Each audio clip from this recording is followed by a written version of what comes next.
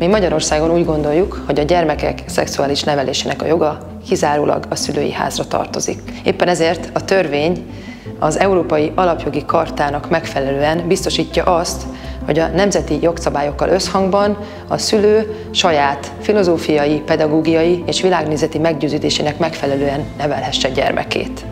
Tehát ez a törvény senki ellen nem diszkriminál.